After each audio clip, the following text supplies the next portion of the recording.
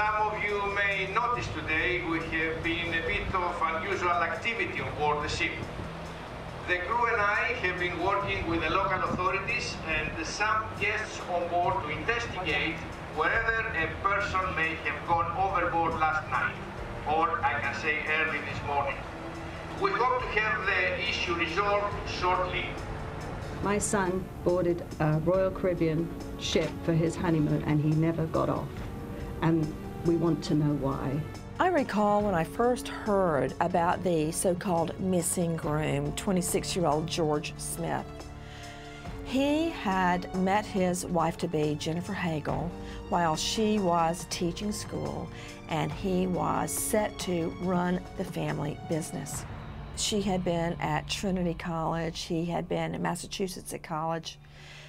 They seemed to have everything in the world going for them. They were happy, they were in love, they had a lavish wedding. I recall seeing all the photos of them outdoors at, the wedding. They went on a really luxurious honeymoon. And sadly, that is where everything went wrong. Jennifer Hagel-Smith was found at 4.30 in the hallway, um, further down the hallway from my brother's cabin, and three crew members from, from their own statements uh, went back down the hallway to see if my brother was there, and he was not in the room. They entered the room. Um, you know, they obviously must have turned on the light to look for my brother. Um, did not notice the blood in the cabin. Ignored the fact that there had been complaints on both sides of my brother's cabin, um, and then got Jennifer and returned her to the cabin in a wheelchair with no concern about where my brother was. Really, um, they should have realized that a crime had been committed in that room at 4:45 or 4:30 in the morning, not 8:30 in the morning when they saw the blood on the overhang. This was a honeymoon cruise, and this was a couple that had just been married and were very, very much in love. In fact, George Smith contacted his family and said, I'm having such a wonderful time, I don't want anybody to contact me unless there's a death. This was a cruise that the, the value of it was about $10,000 for the couple. There were 2,300 people on board the ship, and Jennifer and George flew from JFK Airport in New York to Barcelona. They spent a couple of days in Barcelona. Then they boarded this cruise ship and they began their cruise going toward the French Riviera, where they stopped and enjoyed themselves in that area. And then the cruise continued down the southern part of Italy, and that's where it docked. And that's where it was on July 4th. It was to be a day uh, of excitement and enjoyment. They got back to the ship, rested for a bit, and had a very romantic dinner the night of July 4th. When that ship came to Turkey, um, that ship should have been locked down. That was a crime scene, and uh, they pulled, Royal Caribbean pulled out of there with my son and his wife off the ship and the murderers left on. This has gone away from, this ought to be about Mr. George Smith and his disappearance, and how can we get answers to that? And we have gone far afield from that. And, you know, I, do understand they've gone through a terrible trauma. I can't even imagine what it's like to lose your child, and and it must be a terrible feeling. And I'm sure I would feel like lashing out at the world, but. There has been so much misinformation. There have been so many erroneous, misleading, just dead wrong things said about this. We waited six months, and in deference both to the family and to the FBI's investigation, we said absolutely nothing. We did as little as we could to do anything that would in any way uh, impede the investigation or um, um, uh, upset the family. But I think um, the crew in this case worked very hard under very difficult circumstances. And I think they did an outstanding job. I don't think they did a perfect job. I don't think we ever will. We have, this is not something we have experience in. Why didn't the ship just stay? They're saying you moved on for commercial reasons. Yeah.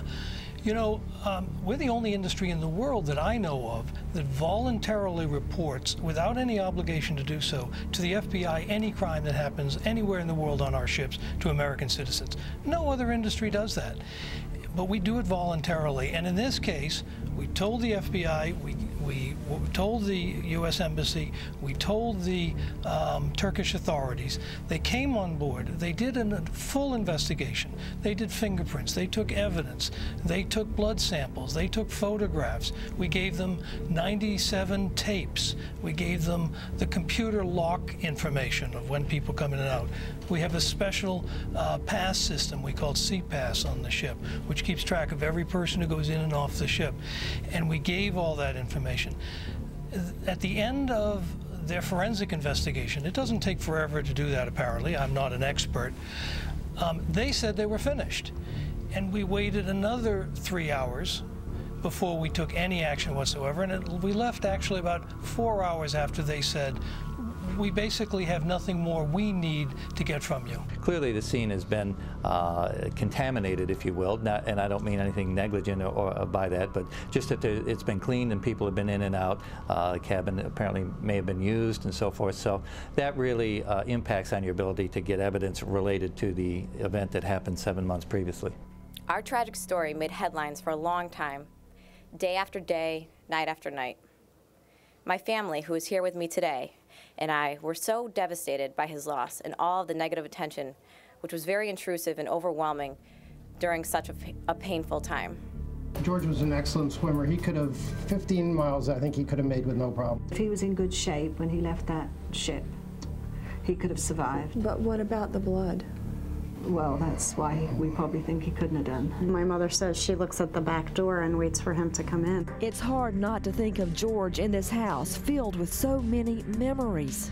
That's from the wedding? That's the wedding, yeah.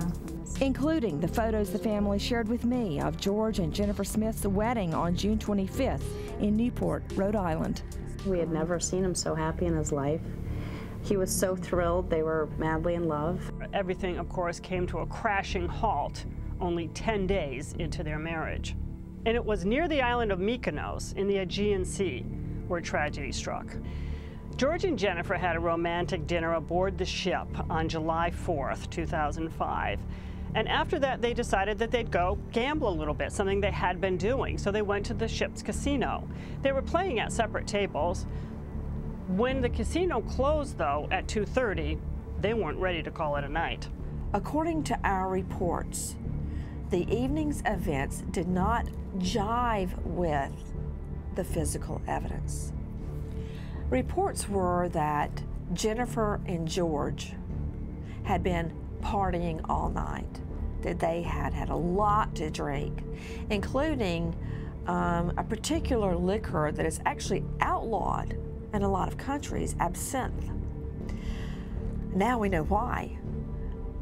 What happened in the next hours has always remained unclear.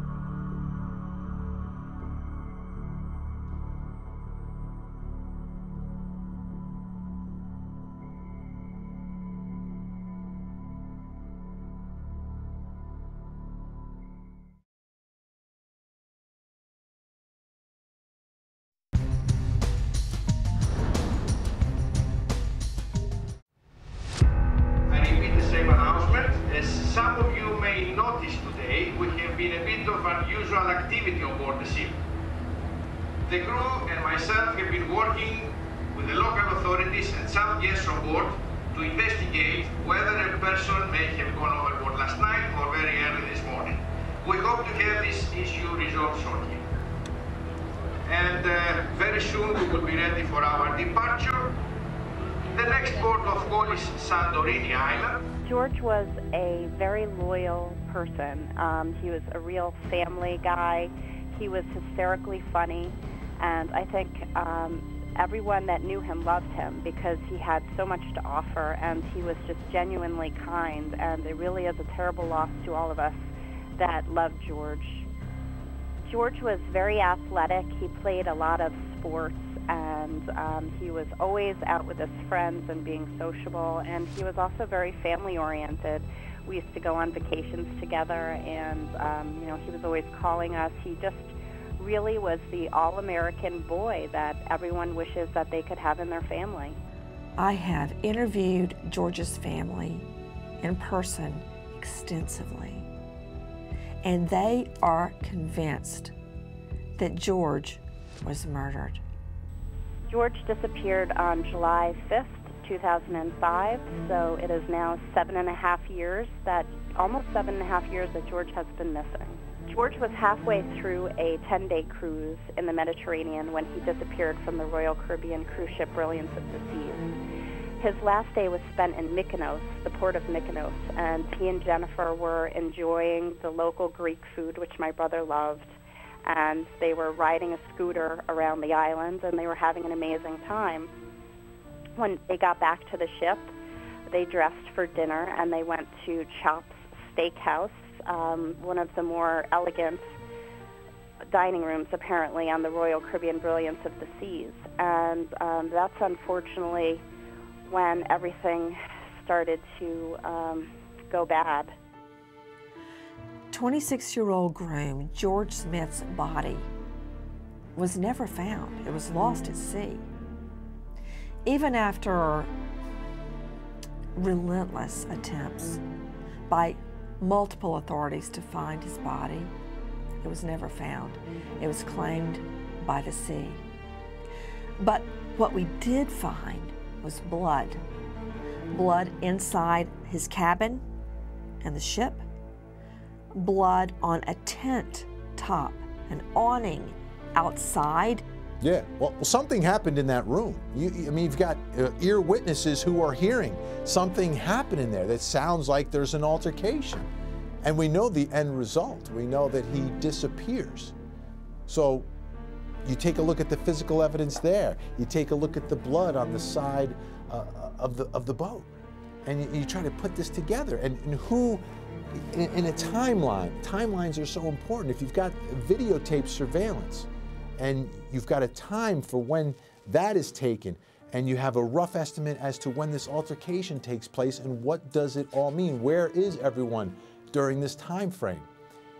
And for me that's that's crucial in trying to understand what happened. So who would be able to be in the room at the time that you have these ear witnesses telling you that they hear a struggle? It sounds like someone's rummaging uh, uh, uh, through what's inside the room. You hear that thud. And those are specific things that people witnessed. And you've, you've got to be able to say, who could have been in that room? Who says they were in that room? Really, the lack of justice in my son's case. Um, you know, the seven and a half years of fighting, going in and out of courts, um, you know, depositions, um, uh, litigation, and then nothing happens. That to me is it just blows my mind. Somehow he ended up on the balcony of his cabin and then fell off the balcony. It was about four feet up.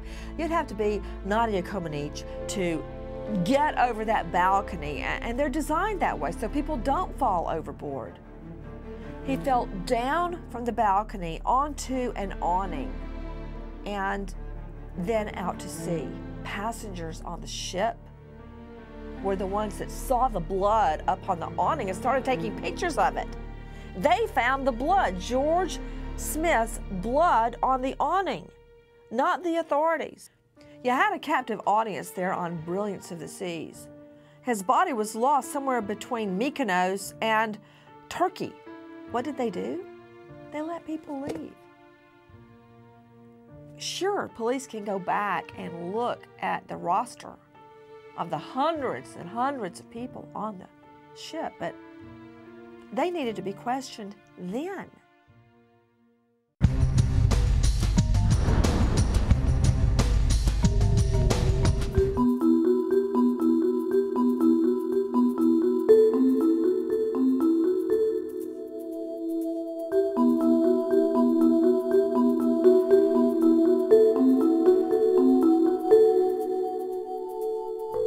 Another issue came up as to the bride, Jennifer Hagel, where was she?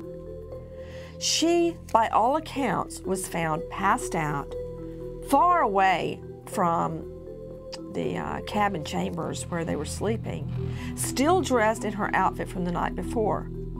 Either she was slipped a drug in her drink or she drank so much she just passed out, sitting in the hallway. She had no idea what had gone on. You know, uh, uh, something happens.